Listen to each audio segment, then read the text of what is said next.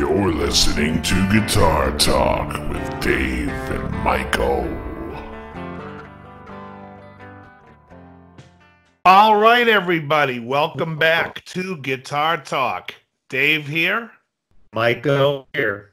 And today we are talking about many things. Uh, we were talking before we got started here about uh, some people who have passed away, um, some from the coronavirus and some from just, um, they just passed away.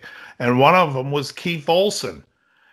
And uh, we talked about Keith Olsen last week when we talked about Rick Springfield, but Keith Olsen has produced such great albums as Fleetwood Mac's 1975 debut album with Stevie Nicks and, and Lindsey Buckingham.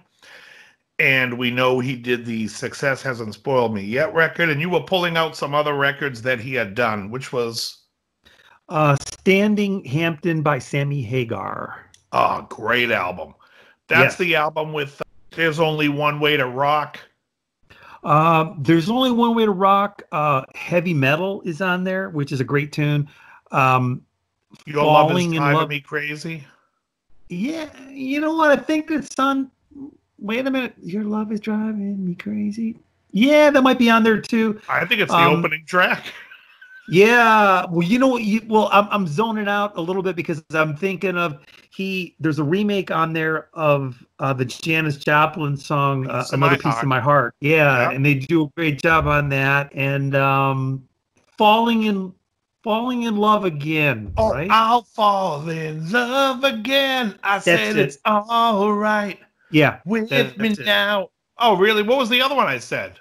You said, "Oh, your love is driving me crazy." which which might not be on there. That, oh, that that's why I kind of box.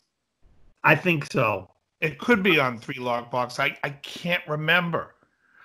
Um, both albums are great. I wonder who did three lockbox because I wouldn't be surprised if it was Keith Olsen because the, both records have a similar sound. They almost sound like a part one and two. Yep. And and they. I'm, I'm actually uh, trying trying to pull him up. You know what? I bet if I looked under Wikipedia, that'd probably be the best thing. There we go. Keith Olsen, Wikipedia. You know, because we talked about a bunch of different bands last week, and I thought he was responsible for. You know, we talked uh, a bit about Journey, and I thought he was responsible for a lot of a lot of their material also. Uh, for some reason, I think Mike Stone was the producer of the Big Journey records. There, the Escape and Frontiers if I'm not mistaken. I, for some reason, the name Mike Stone comes into my head. Wow, he did uh, uh, Union Jacks by by the Babys. That that's a oh, great album. wow. Double Vision. Union Foreigner. Jacks is what 1980 or 79? Which out which year was Union Jacks? 1980. Oh, 80. Okay. All right, great. 19, yeah, that. And then Working Class Dog 81. Well, he did Precious Time by Pat Benatar, Santana Zebop, which is a really good album. Uh, Success hasn't spoiled me yet. Three Lock Box, so he did do that album. Oh, okay, yeah, because it sounds like it sounds like a one-two punch, Standing Hampton and Three Lock Box. If he did Zebop, is Zebop the album with Winning? Yes, I'm winning with oh, I love that yep. guy's voice. He was like the, I don't know where he was from, Finland or the Netherlands. I love that guy. He also sang on the album Shango, which would also surprise me if he did Zebop that he didn't do Shango because Shango again that those two have like a one-two punch to them. I'm not seeing that one listed here, but this might just be a partial list. I don't know. Huh. What else is on this list? Oh well, the the Fleetwood Mac. He also did Lizzie Buck, Buckingham and Stevie Nicks, the Buckingham Nicks album from 73. Right. They uh, brought uh, James, in, I believe. Probably James Gang from 72, an album called Passing Through. Um, the Babys, Pat Benatar, Crimes of Passion. Oh, that's another great album. Yep. Let me see. Uh, the, the Sammy Hagar. We already mentioned those two. Uh, Heart, Passion Works from 1983. Oh, Kim, good album. Good album. I think that's the album that had How Can I Refuse? You know what? That's a great tune. I love yeah. that song. I think yeah. that's on Passion Works. Okay. Um Joe Walsh, Nice. The Confessor, Kim Carnes, Cafe Oh, I like the Racer. Confess. Wait a minute, the Confessor wasn't the name of the album. That's what it says. The The It Confessor, is? 1985. Yeah, Eighty. Wait, the Confessor came out in '85. that's what it says. Well, I'm looking I at Wikipedia. The seems like Confessor was on the album "There Goes the Neighborhood." Now hold on, now I got to look that up. oh, you know what? He did Saga. Remember Oh. that band from Which album? uh, Wildest Dreams in '87? Yeah, that was after Worlds Apart or Worlds Away, whatever the hell that name of that album was. And, and you know what? I don't know. We, we probably won't do it on this talk, but that makes me think of I wanted to do, uh, you know, have a little talk on Canadian bands. There's a lot of great ones. Yeah. Um, there is. Uh, Blues uh, Rick Springfield. Oh, wow. He did. Rock of Life. By, I guess uh, the Confessor wasn't on this album. Hold on, what? You bought it, you name it. Nope. An 85, The Confessor. God, I would have thought this was. I would have thought this was much earlier, this song. Hmm. It doesn't even make sense to me. I remember we were Oh, talking no, about the Rock. Confessor album. Where's the Confessor? So bizarre. The Confessor. Wow. All right. What was that? Oh, you know, he did the Rock of Life too, Rick Springfield album. Oh, he did. That's Yeah. a great record. Yep. I And don't think some- Rick liked that album that much. I, he, I every time I see an article about it, they're always like, "It's a dark album." So what? It's fucking good. Like, You know what, what? do I give a shit? Like, people are so like, "Oh, because you're in a dark place, you're not putting out a great record." It's better than most of his albums. I don't know why. Actually it's very uh, you know when you and i talked about uh, what we have you know the many topics we talked about the last time we spoke rick being one of them i went back and listened to some rick that i hadn't listened to in such a long time. And uh, we'll talk about being able to literally hear somebody grow as a performer and or a, a composer you know from uh, Jesse's Girl to Rock a Life. When I was listening to the lyrics of like uh, Rock a Life or Honeymoon in Beirut or One Reason or whatever, man, that's those are some really good lyrics there. And It's you great. know, yeah, you know, and he's, he's it's not, you know, we joked around a little bit about you know, Love is All Right Tonight off the first album. It's you know, it's like night and day.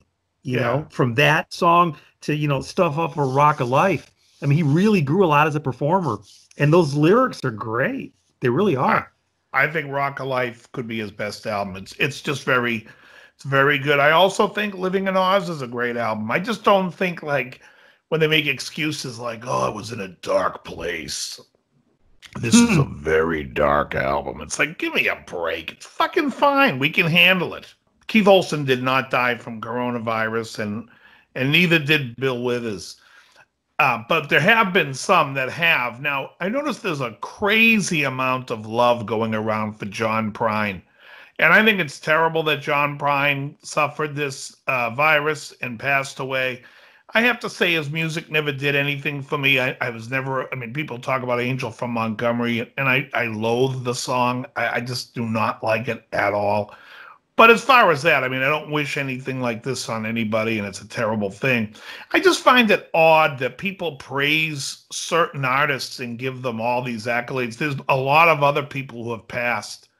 Um, the guy from Fountains of Wayne, Schlesinger, there, I think his last name was, um, who also got the virus and passed. And, uh, you know, some other people that have done some some good work. It's just um, there's like this over glorification, if you will, I think, of some certain artists. Obviously, people know I, I, am not a fan of Bob Dylan. And so um, when I was in high school, and I remember uh, right after Stevie Ray Vaughan died, and the radio was like playing nothing but Stevie Ray Vaughan for like the longest time. It was like you never heard of him two weeks before, and then afterwards you couldn't get away from him. And I said to a buddy of mine, because I didn't really mind Stevie Ray Vaughan, I was sort of indifferent about him. I, I like some of the songs, I don't like others. As play as a player, I enjoyed him. But I remember saying to my friend, I sure hope Eric Clapton and Bob Dylan never die because then I'm going to have to hear their songs on the radio nonstop, and I'm just going to be suffering like a bastard because of these. You know what I mean? And then everyone's going to be like, "Oh, they're so wonderful." And uh, I was talking to my girlfriend yesterday about it because I was going off about Bob Dylan, and she started saying something about like he won this award and he did that. I said, "Really? Name five songs that doesn't make me want to throw up in my coronavirus mask that I was wearing." um, well, yeah, you you know what? Um, well, Vaughan died uh, much closer to the height of his career. You know, the sweet spot. Um, if Clapton or Dylan died now, obviously nowhere near the heights of their career, and they're not as relevant as as they used to be. I don't think. And and what's making me think all, all this is, you know, when Prince died a few years back you know, obviously before his time. I mean, he was a young guy and was he was in his late fifties or something like that. And um, you know, his songs got some airplay, but it it it wasn't like nonstop. You know. Um, well, yeah, I think Prince wrote an awful lot of material. He was obscenely prolific. I don't mm-hmm. think a lot of it was great. I think some of it is outstanding. And I think some of it's crap, some of it's garbage. I mean, it's not like I love everything. Some of it's, you know, just middle of the road. It's okay. Some people go off about how great he is, and I don't think he was that great of a player. I do love some of the early records. Like I love Dirty Mind. I love Controversy. Uh, 1999. Uh, Purple Rain is a little. Um, it's it's good. It's not my favorite. Um, I really liked um, the double album he did in '87, uh, "Sign of the Times." The first song that comes to my mind is um, "Erotic City." I always had Great a soft spot. I've always had a Great soft song. spot for that song. Yeah. Yeah, and I always liked the flip side to that, which was I think 17 days. Let mm. the rain come down. Let the rain come. Yeah, good stuff. I like I said, I love a lot of his stuff by the time you get to early 90s you could throw most i mean i love the album um, the death of prince i think it's called come. I love um, not the one with diamonds and pearls but the the the, the symbol the prince symbol my name is prince album's really good. Um, but there's just a lot of crap. And same with tom petty. Tom petty put out some great albums. After long after dark i could really care less about tom petty's career too which is why I think when he passed, it was kind of like it's terrible, but it's like they're not getting like the love that Stevie Ray got because Stevie Ray Vaughan basically was like, yeah, I think he was at the highest of his career. He was opening for uh, Clapton. He had done those shows with Clapton and Beck. He was really coming into his own. Yeah, and then boom. So you know, kind of like you know Jimi Hendrix at the height of his career yeah. you know you know and not having a lot of material where the artists that we're talking about now there's a, a, wealth of material and they were on the they were more in the twilight of their careers. With that being said i really think that i didn't pay as much attention to prince you know in, in his in the later years uh, but petty i did. I, I what i really liked about petty is he was still in my opinion, putting out a lot of good material. Yeah. Um, and and doing a lot of different things, whether it's like under the Mudcrutch name or, you know, they were in the studio. They were Johnny Cash's band when he did his comeback. Right. You know, and that and that album won a Grammy, and you know, and Tom was playing bass on that. You know, I mean, the whole band was in there.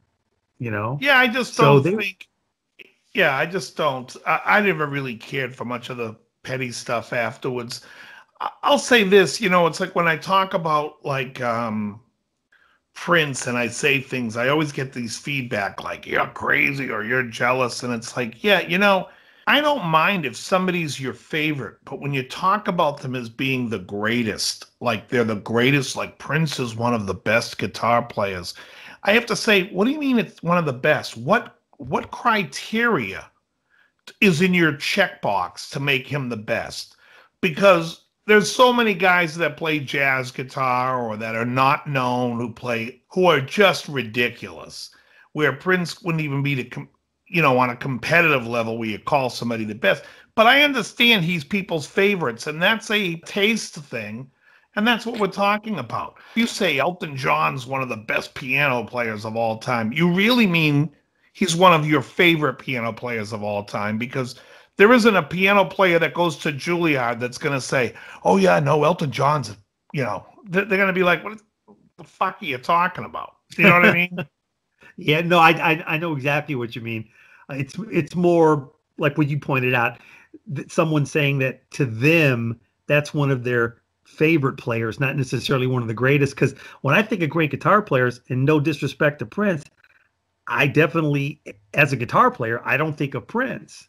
Right. You know, um, you know, he was, you know, he did he he was a multi instrumentalist that played a, a variety of instruments very well.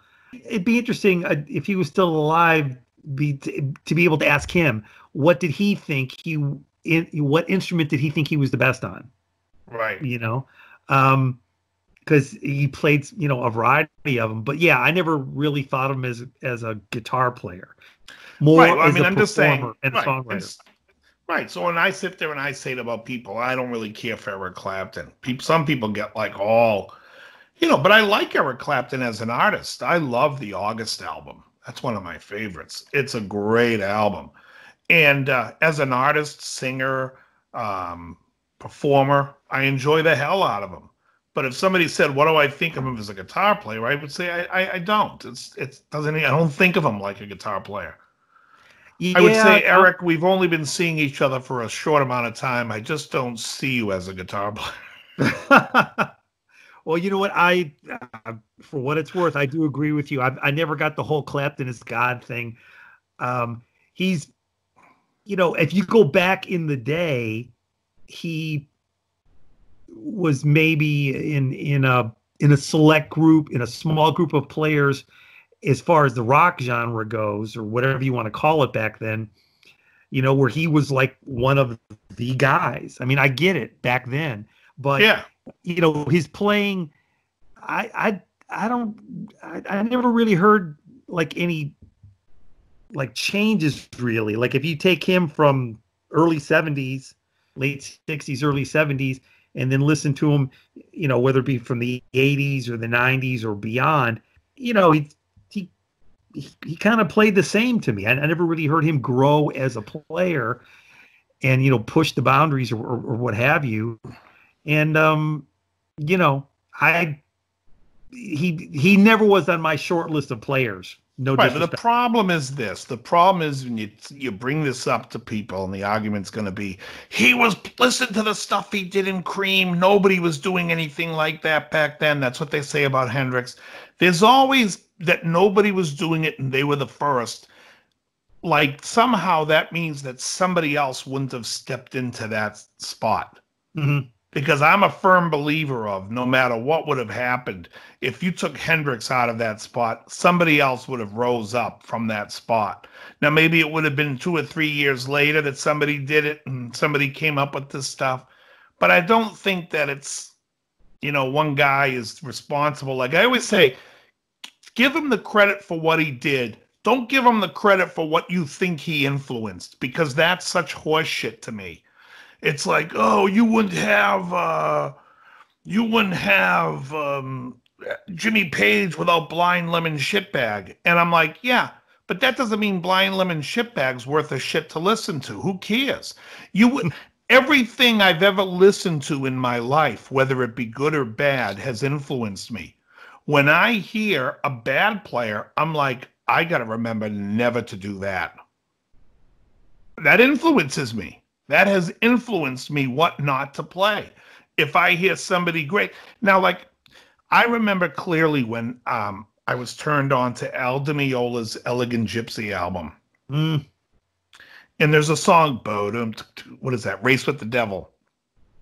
And when he starts playing the when out, when out, when out, and he plays that flat five in that lead, and I'm like, that influenced me. I mean, just that one line, it's probably the slowest thing Al Di Meola's ever played, influenced my playing Mhm. greatly because I'm like, I like that chromatic sound. Like that turned me on to something. If somebody were to sit there and then say, Dave, I love the way you play, but you owe everything to, well, Al Di because he turned you on to that chromatic playing, and then you go listen to Al, and you're like, well, that doesn't sound like anything I'm doing. It has nothing to do with it. Whatever influences you, you know what I mean. So I, Yeah. and I hate that argument about Clapton when people like, or Hendrix, he influenced so many by doing. So what? Somebody else would have come along and taken that spot, and then we'd be sitting there talking about some fictional name that we don't know right now, but would have stepped up and would have been, you know, I mean, everybody grew up in a town where they were like, oh man, I know who the best guitar player when I was growing up is. Well, that best guitar player may not have just been stuck in your town. Maybe he would have rose above the. well, you know what? I've got the name we can use for the fictional guitar player. We're going to use the name Mark Lahem. Right, Mark Laham. So if you know anybody named Mark Laham, because it's a made up name, nobody knows that name. You brought up one of my one of my uh, strongest uh, uh, influencers. I mean, I, I, I idolize this person, but when you blind up uh, Blind Lemon Shitbag, I of mean, course. Yes. He's, yeah, he's influenced millions. Do you remember Steve Allen? the I comedian, think he used to host the Tonight Show before Carson, I think at one time. right? When yeah. he died, they were like, Steve Allen wrote 3,000 songs. Oh, really? Name fucking one. I didn't know he wrote 3,000. 3,000. I think if you look it up, look up Steve Allen, it'll tell you how many songs he wrote. And it's like, who cares how many songs he wrote? Nobody knows one. Anyways, on to bigger and better things. Okay. Uh, the other day, I was talking with someone that I work with, a fellow employee, and uh, we were by his workstation, and so I, I, I saw his, you know, computer, and he had uh, as a screensaver, he's got a Paul Reed Smith guitar. So I was like, "Hey, what's up with this?" And he's like, "Oh, I play guitar," and I'm like, "Really?" I said, "So do I." And you know, we we didn't know that about each other, so we started talking. And uh, long story short, you know, we're talking about gear because we're guitar players and gear that we have and maybe gear that we lust after. And it was interesting to see the differences between us in the gear that we have and or lust after. I'm I'm older than him. Uh, I'd say like we're like a generation apart. Okay, and uh, all of the gear that I have or lust after is more um, used in a live situation, you know. So it'll be like an amp, whether it be a head, you know, and or a cab, and you know maybe some pedals on the floor, this, that, whatever, you know, stuff like that. And everything that he lusted after was more used in the environment of like a home studio, so he could, uh, you know, throw it up on YouTube or something like that, you know. So it it was a real eye eye opener f- for me, you know Yeah. the opportunity to play in a live situation comes far and few in between now as opposed to it was commonplace years you know years ago you know um you could gig it, you know almost at will if you wanted to you know Sure. but n- not the case now you know so now the stage is in their home Yeah, it's a different world, you know, and also it's funny because um shit 15 20 years ago people were gigging with different gear. You know, a lot of people using some modeling gear to go out, a lot of smaller amps and a lot of boutique amp companies are now cloning small amps like the Princeton something that's small that you can go to a club date because the clubs seem to be so small Whereas before it used to be rock clubs, you know, you had like CBGBs in New York, you could go to the Whisky a Go Go in LA, and you can go to other cities and they would have big rock clubs, rock venues. And now everything's like just a small club. You know, people, uh, drummers are taking out small jazz combo kits.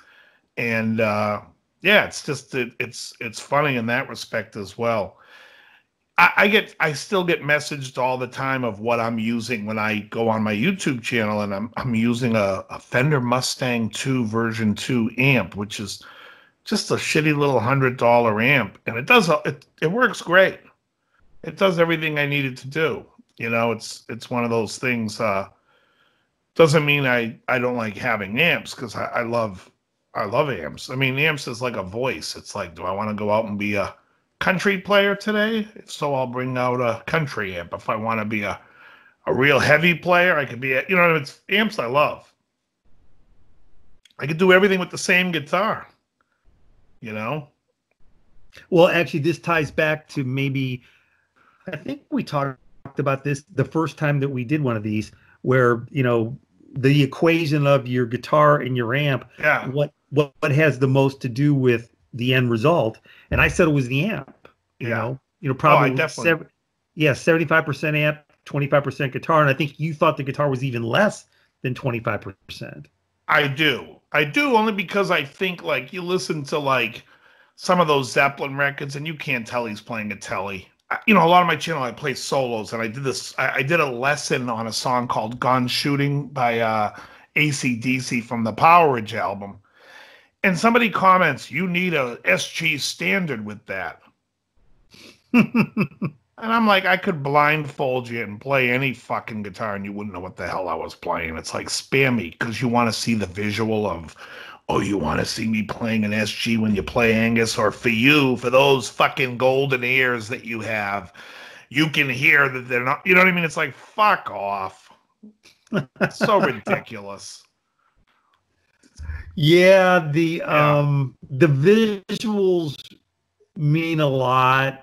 Uh and also it's make what you're saying makes me think of something definitely similar is when um when the modeling stuff started to kind of take off uh, a few a few years back um you'd see these demo videos you know by whatever company you know whatever the product was and uh, they would say, you know, okay, here's our, you know, Brian May sound, you know, and of course they would play some Queen songs, Sure. and the tone would be the tone would be close, but it Right, well, definitely, yeah. You, yeah, it, you're playing the song.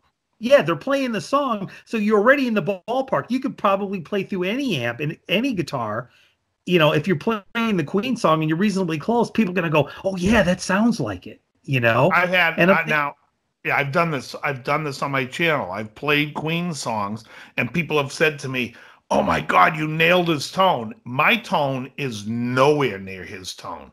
Nowhere near it. In fact, I can't stand his tone.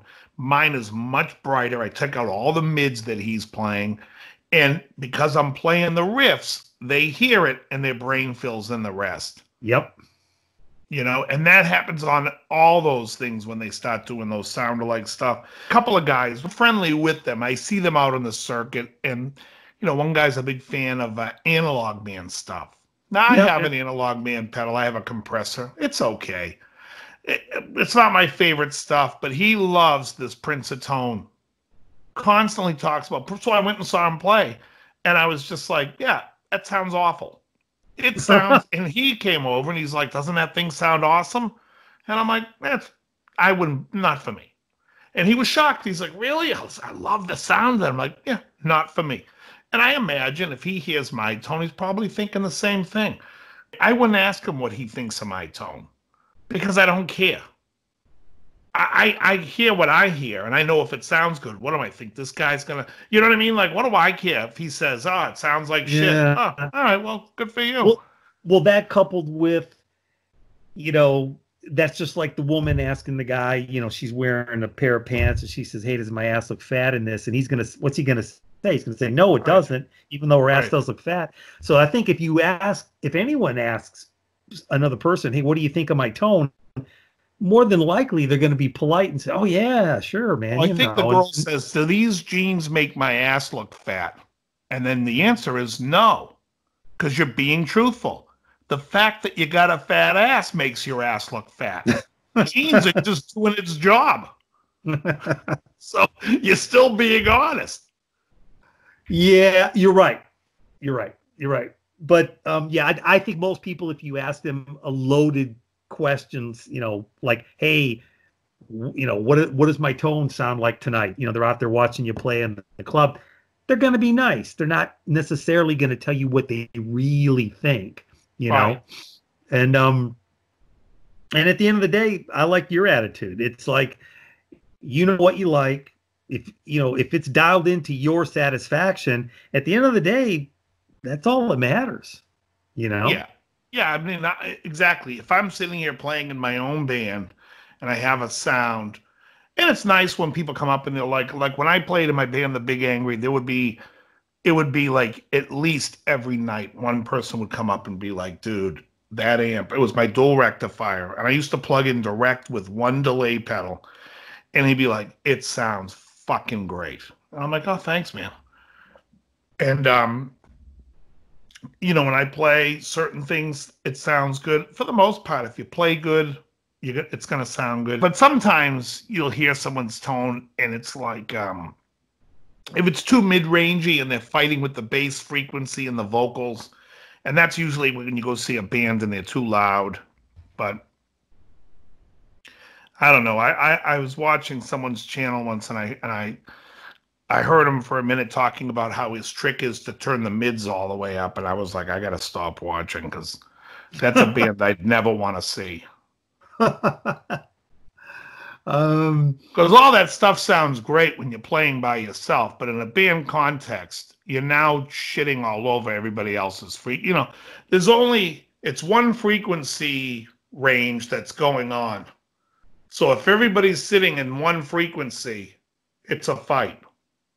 Absolutely. And and you know what? guitar guitar's a mid-range instrument and that's why singers, you know, it's it's their favorite thing to hate is the guitar right. player because you're you're trying to occupy the same space for the most part, you know. So you got to find a way to to to coexist.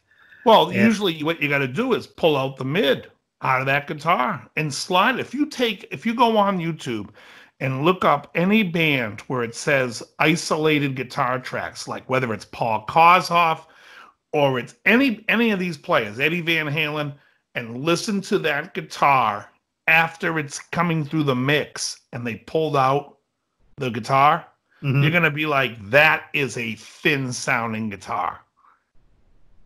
Absolutely, absolutely, and I, I um, and I'm I'm guilty of this too. Um, you know, it's very easy if you're at home by yourself and you're playing to fatten things up too much. Yes. Too much low end and too much low mids. And uh, it sounds great, you know, because you're filling up a space by yourself. Absolutely. But boy, if you get in a band, if you get in a band situation, number one, the bass player is like, "Hey, you're you're in my space," and the singer, "Hey, you're in my space."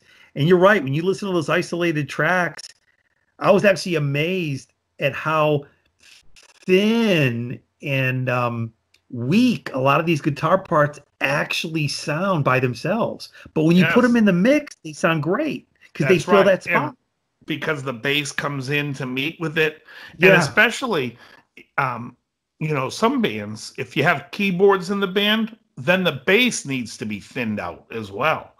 You want to thin out that bass because you're you're not going to hear that low to mid in the keys it's just it's a dance you got to do. And so when someone says like oh listen to this tone and i'm chasing tone and they listen to something and then they play it i'm like when i do it i'll always set the amp and people be like oh that's a little too that's too bright that's too bright. I'm like wait and then when the i've had it happen when someone come up to me and they want to play my rig they try it before my band goes on and they're like i don't like how bright it is and then when we play a couple of tunes, they come up and they're like, "You're fucking perfect in the mix."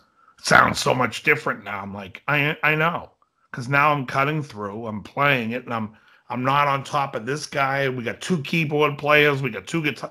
You know, it's a mess. I'm I'm sitting there trying to, I got to carve my niche, you know, and uh, nope. so I get used to what that sound is when nothing's there. You kind of work that in. Uh, I do want to comment on this because when you said, you know, we're talking about tone here, uh, you know, my, my past, I, I, think I mentioned I worked for a couple of music instrument companies over the years. Prior to that, I, uh, like you, worked in music stores Okay, and uh, it never failed. You'll get someone that'll come in there, and I'm trying to remember exactly how they said it, but they'd say, "Oh yeah, you know, I'm I'm like looking for this tone that I once had, you know, and they had it like 10 years ago, and they've been trying to to recreate it ever since, and they had some kind of weird, con, you know, concoction of pedals and or amp and guitar, and you know they were in their friend's basement. They were probably high and who knows what else, and but it was the best tone they ever heard, and so they're they're trying to chase this, and I'm thinking, you know, I'm, I'm thinking like number one, you're gonna you're gonna remember something from ten years ago. Like if someone actually recreated this tone right now, you would actually remember it. Number two, it wasn't that great to begin with because I guarantee you, once again, you were high and so on and right. so on and so on. You know, but it was just so funny because that happened a lot of times. That that yeah. was something I heard almost verbatim from different people that oh yeah I had this tone once and oh, I'm, I'm I'm just you know I'm just trying to get it. It was the best tone I ever had. Blah blah blah blah. blah. You know, and it was uh, just humorous. Oh yeah. Well, I mean, Sad, it doesn't too. really matter. I, I, did a gig in England, and uh, the guy called me up and he was like, "Hey, listen, I, um, you, I was flying in the next day. He's like, I gotta rent your amplifier for the rehearsals and the gigs. I'm like, okay. What do you want? I'm like, whatever they got, it's fine. No, no, no, no. Well, I, I go, uh, well, I play a Mesa. I have a dual rectifier. If they don't have a dual rectifier, any Marshall will be fine. I, I don't care. It doesn't matter. He couldn't. He was like, no, no, no. I, I know you guitar players. You're going to be very specific. I was like, I, I don't care. Just and so he ended up calling me back and goes, they had a dual rectifier, but it's like the two channel. And I was like, I, I don't care. That's fine. I'm going to use it for one channel. We're going out. We're playing. It's like I'll dial I can I'll dial it in how I need it to sound. I, you know, I practice when I practice guitar without an amp. I sit in my bed watching TV and I'm just noodling about. I, I don't. So when it, when I hear an amp, it doesn't matter what amp, unless it's a terrible amp, which I'm you know no rental place like is gonna rent you. They're gonna rent pretty decent amps. You know, it's usually something tube. If you say give me a tube amp, and I'm playing a roughly clean sound any Fender will be fine. Any Marshall will be. I don't care. Just give me whatever. The, I'll make it work. So people, so many people get hung up. Now, when it comes to buying amps, that's a different story because to me, there's um, some value. Like when I bought the DSL 50, it's you know that's a a nice lead amp. Um, it has a certain tone that it does really well. The JCM 900 uh, 2100 does something very well. Um, the I have a Roland Jazz Chorus 40 over here. That obviously does something very well. But at the end of the day, it doesn't really matter. You know what I mean? It's like if uh, if if there was an amp company that said, "Hey, Dave, you're going to go on the road with so and so, and we'd like to backline you for you," I'd be like, you know, ninety percent of the companies out there, I'd be like, "All right, what do you, what do you, you know?" What I mean, I wouldn't care because I would just play the same to me. I mean, if it was if uh, if they were looking for a certain sound, like if it was a metal band sound, I could probably name six or seven amps I'd be thrilled with. You know what I mean? If somebody said to me, "Here's a Friedman, beautiful. Here's a Henning, all right, perfect. Here's uh here's a Mesa, okay, that's great. Here's a Marshall, fantastic. Here's a Peavey Triple X two, okay, fine with them all. I don't give a shit. They're all there's so many great amps out there.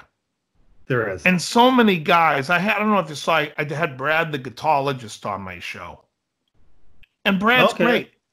And there's a lot of guys like Brad, whereas if you got an amp and you said to him, Hey, can you fix this, dial it in, make it sound? Guys like him and Uncle Doug can go through an amp and do whatever they need to do with it.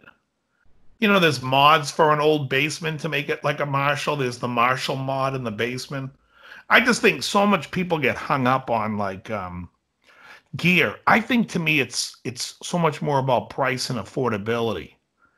You know, like if if Marshall wants to come out with like uh uh, uh if they want to come out with a head from England, to me I would say to Marshall, figure out how you can make a two channel amp out of your England factory at the cheapest price you can come up with.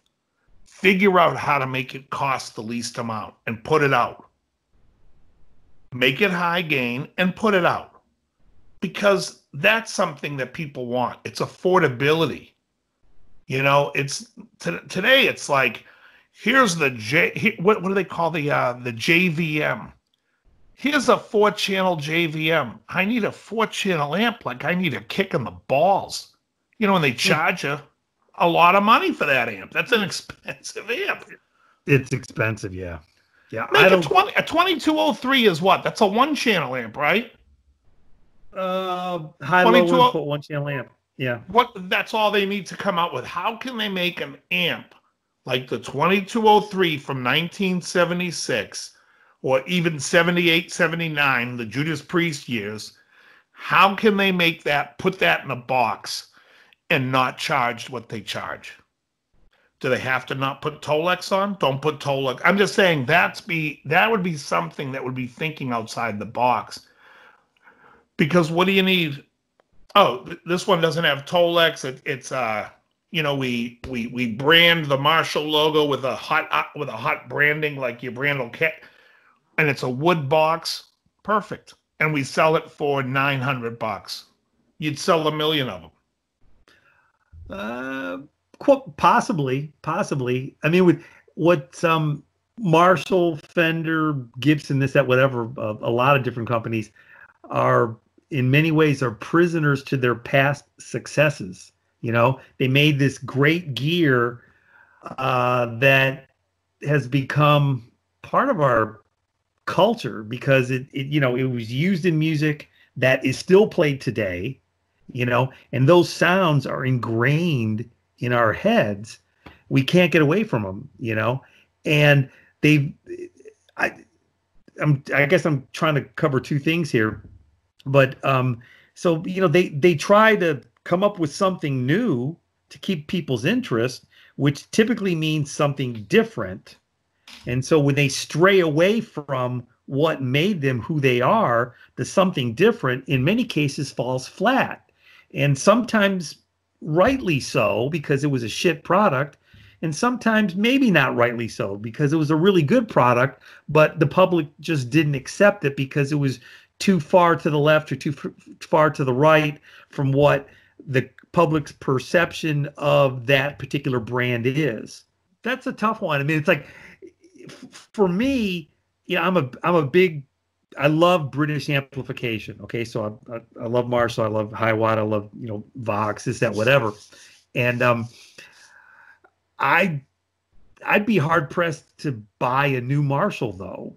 You know, I mean, there's there's nothing there that makes me want to buy a Marshall. There's nothing there that makes me want to buy a Marshall. Maybe from the late '80s on, except for some of their reissue stuff that they did, like they did the, yeah, they did that Jimi Hendrix head. But you uh, have the Marshalls, so you're you're you're a hard sell, a hard person to sell to because you already have what you what they're offering. How much is the most expensive overseas Epiphone Les Paul? Oh, you know what? I don't know. It, that's changed over the years. Well, know. let's say it's a close to a thousand dollars. Okay. Now, a Gibson Les Paul Studio, the brown wood, and they made it in the cherry wood. A couple of years back, they went for like $700, $800. Gibson logo, completely stripped down. No paint, just brown stain, no binding. But the inlays were the trapezoid inlays. They sold a ton of them. And my point is, is who do you want to sell to? who do you what are you trying to do for me marshall going and then saying we're going to have vietnam make these amps that look just like marshalls but they're made in vietnam are you going to buy one no Me? rick springfield's calling you tomorrow and he says i want you to come on the road and be my touring guitar player and marshall says we want to give you a thousand dollars worth of, of our heads so can we give you this Vietnam made head? You'd be like, no, I'll bring my own head. Fuck off. Now, Marshall says we're going to make an actual 1979 2203. We're going to use reclaimed wood to put, put, put it in. and we're gonna use a branding iron to brand the Marshall logo in. It's going to be the cheapest made we can make it to get the customer the highest quality amp for the cheapest price, and it costs a thousand dollars. We want to give you that to go on the road. You're going to take it. Of course you will. Of course you will, because it's a value. They haven't figured that out yet. The industry hasn't figured that out yet that they can stop trying to go overseas so they can give the same bells and whistles to somebody. They don't understand the world thinks of that as a fake. If if I were to show you this Marshall, where is it? Can you see that Marshall combo? Yes. If I were to take that Marshall combo and show it up close and it said Haze on it, the Haze series was made in Vietnam you're going to be like, yeah, I, I, don't want it. But it doesn't say Haze on it. It's made in England. It's the real deal. And if if all of a sudden I could get it to you without the without the cloth, whatever they have to do, I don't care how they cut the corners, but they don't need to glorify it. They just want to sell it on the cheap, kind of the way the Les Paul Worn Brown was. You would be selling a lot more Marshalls, and you would be selling it to people who couldn't afford Marshall anymore the price of gear is a an interesting topic, you know, because if you look at what a classical musician that might play in an orchestra pays for a professional cello, you know, to to do that job, or violin, or you know, insert other instrument, you know, types, you know, those or those instruments are expensive. You know, uh, like a real actual saxophone. If someone's in a you know a different type of band that would use the sax, this, that, whatever. And you, you buy a real sax, a pro sax, it's multiple thousands of dollars. You know, um, you're I've talking always, about a professional buying it. Um, a professional musician that's in an orchestra is professional. That's their living. But yeah. you're not talking about. So, like, here's the thing. Let's say I started a company, and I'm going to call it Dave's Guitar Channel Amplifiers and they sell for five thousand dollars for the for the amp. Now, who am I going to sell these to? And be honest. Five grand's Doc- a little pricey. I'm not sure oh, who you give, me a, give me a price. What does what does Friedman sell his amps for? I don't know. What does he sell those amps for? They're kind of pricey too. I mean, you're What's, you're give me a half stack. What's a half stack cost? Uh, depends on the head. For argument's sake, let, let's just say two grand because it's a nice round number. Well, two grand for what? Just the head. But let's put the cabinet. So call it three grand. We'll put it three a four grand. by twelve with the head. Three grand. It's who, who's buying my amp for three grand? I'll tell you who. Doctors and lawyers. You'll never see one on stage. The only way you're going to see one on stage is when I start giving them away to artists. There's no way. You and I both worked in in in high end music stores, and so you and I both know that a large part of the clientele was doctors and lawyers because they yeah. had that kind of money. And, you know, they used to play when they were younger. They were getting back into it again. Now they had money and they would come in and they would buy high end guitars, high end amplifiers, boutique pedals, pickups, you name it. Absolutely. And they were regular, they were regular customers. And that's who we sold most of the stuff to, long and short right. of it. Yeah. Right. But but I'm not saying that it's a bad thing and I'm not trying to disparage them by saying that's who's buying it. I'm mm-hmm. just saying is you're not going to see them on stage. If that's who I'm selling to. Yeah, because if you would go into the the the clubs at that point and see what the guys were using, you'd probably see a lot of hot rod deluxes or DeVilles or something. That's why I got a hot rod deluxe. That's what I'm taking out. You're yeah. gonna see Marshalls out there. You're gonna see the new DSL 40s. You know those DSL. Yeah. Um, what are they? The clones of the old 401s, or I think they're a little different. The original 401s, I think, were EL84s, right? That I don't know because I that that that would be after I didn't like you know wasn't right. interested in that Marshall right. gear. Yeah, no, I think the DSL 401s, which were the original combos were with EL84s, four EL84s, and I think the reissue DL40s are with EL34s, two of them. Which, you know, if, if you look at it that way, me as a player, I'd be drawn more to the 234s and the 484s. I'm, you know, it, as far as power sections go, I'm not a big 84 guy. Right. Well, well, the different amps. The D, the DSL 401 with the EL84s was not really meant to be for the 34 guy. It was meant to be that combo amp of that sweeter, you know. But they released it now with the, which is fine. But I don't even know where they're making them. I don't think they're. I think they're made in China. But to me, for the price that they sell them, why are they not making something in the U in in the UK that they could make, you know, a little cheaper? Like, do you need the black cloth? I mean, I'm just saying. I I just think they are missing selling a quality product instead of being in the import export business. They're all becoming Art Vandelay. In fact, my amplifier company will be called Vandelay Industries because I'm going to then import and export everything from China. That's, That's all they're doing. You know, you know what? I've I've always wanted to be an architect. exactly. Yeah. Uh, either that, or I want to be your latex salesman. You know. Right.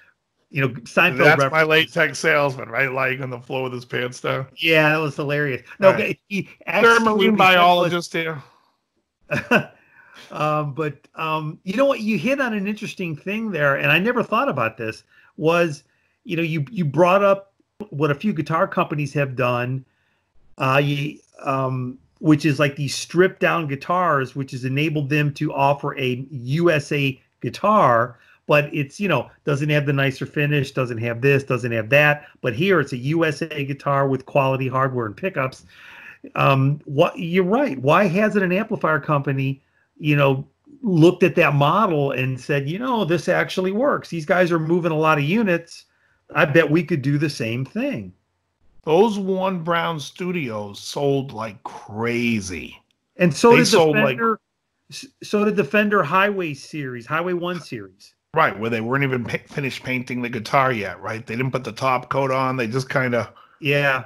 You know what though? But that became the popular thin finish. Oh yeah, it's such horseshit. Unbelievable. But yeah, but no, it does. It makes it the Highway One gave somebody a USA guitar cheaper. Oh yeah. And they sold. You couldn't keep them in stock. They sold. And instead, these companies would rather let these manufacturers overseas become the import exporter. Who knows? You know, because of what's going on right now with this virus, um, we may see some changes there. Yeah, know, I, I hope it does with you know a, a good cleansing, if you will.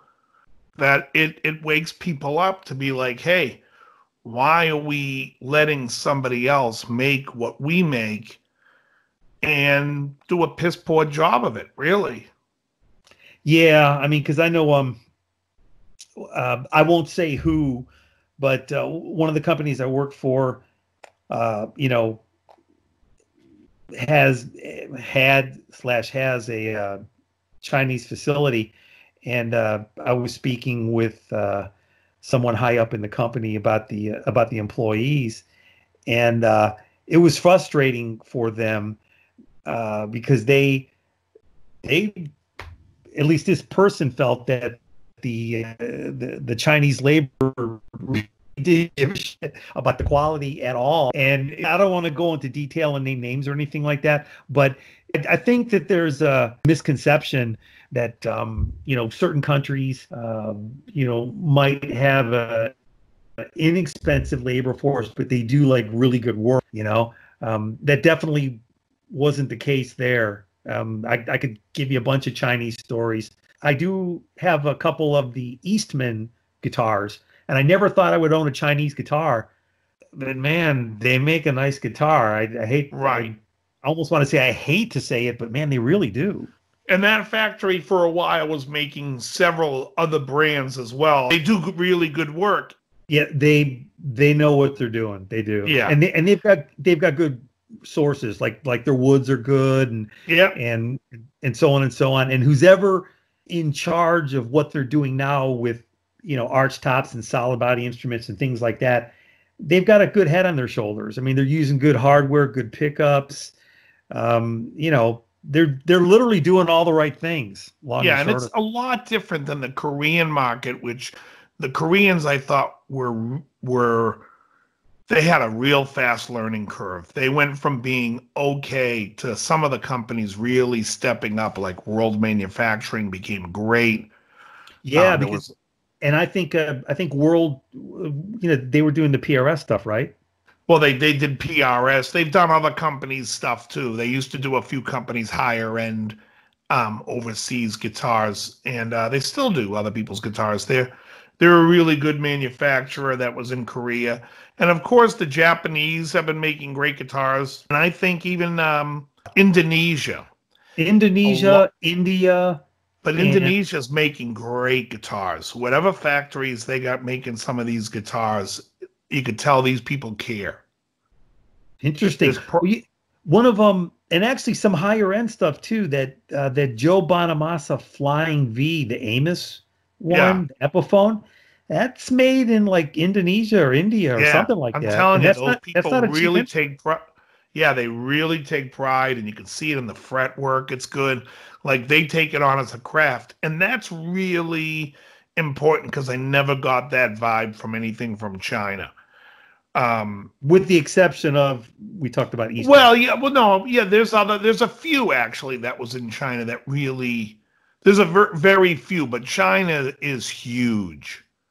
Mm. and um and i don't know how long some of these factories last you know um the technology there they're not using some of the most high tech stuff.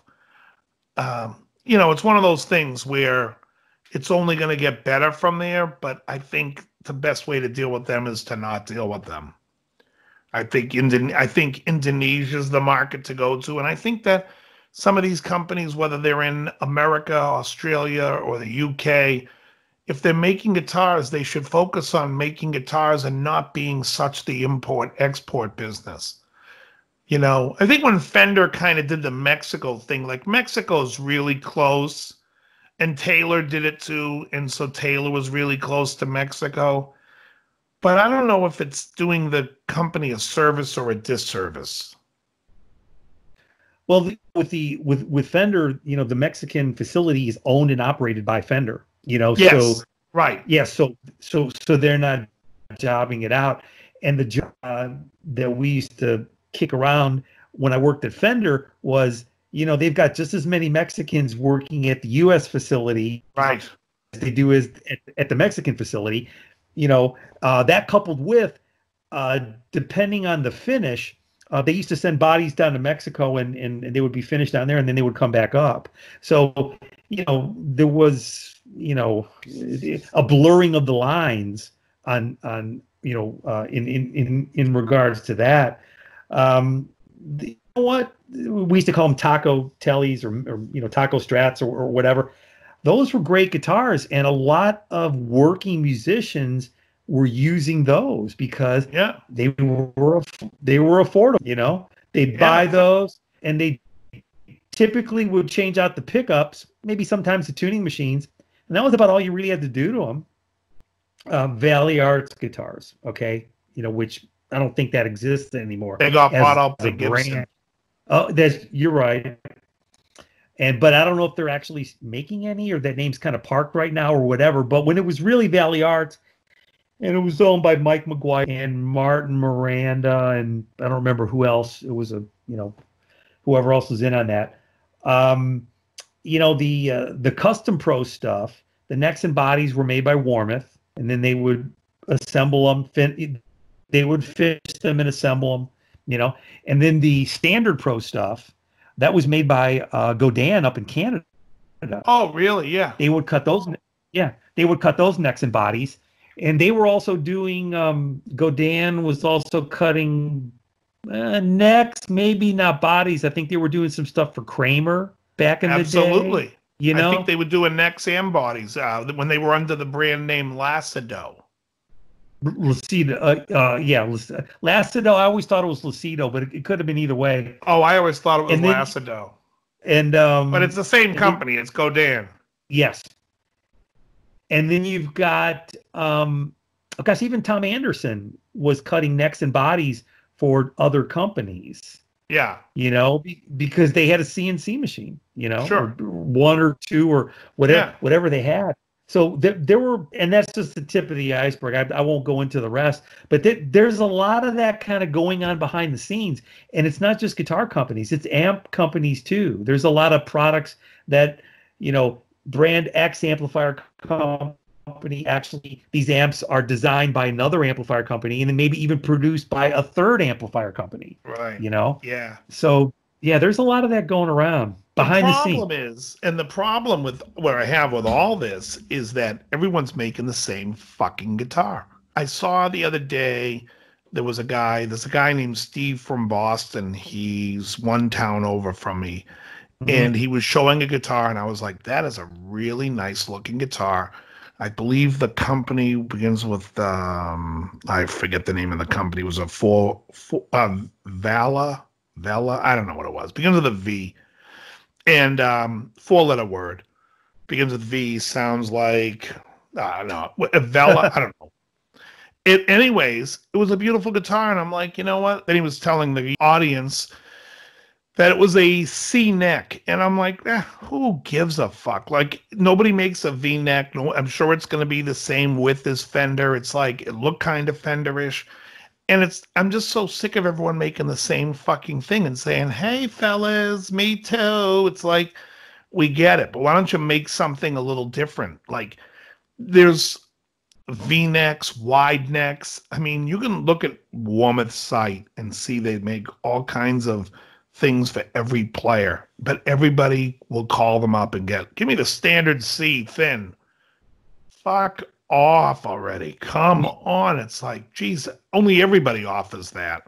this Me Too type thing in in in regards to guitars.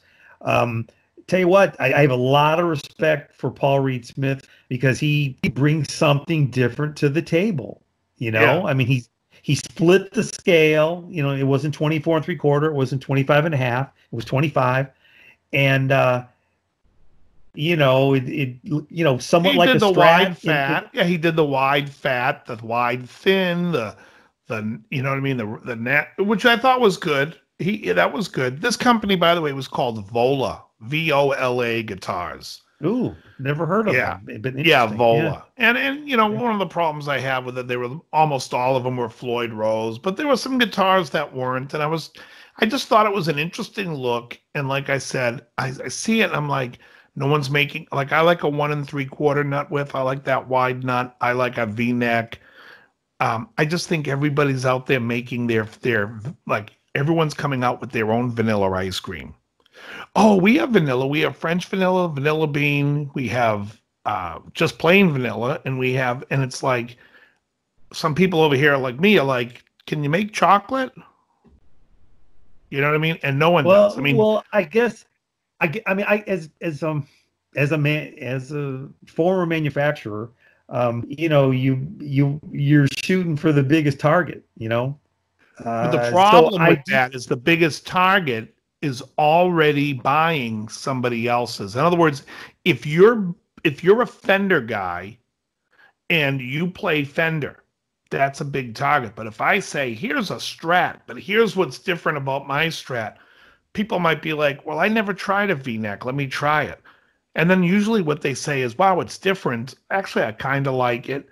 And now you are offering something different for your brand because how many times does a Fender knockoff brand come out, made a cool guitar, and then kind of disappeared?